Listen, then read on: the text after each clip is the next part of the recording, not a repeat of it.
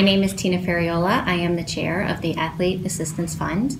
The Athlete Assistance Fund is a separate 501c not for profit organization to provide counseling services to any survivors, current or former athletes that suffered sexual abuse within the sport of gymnastics.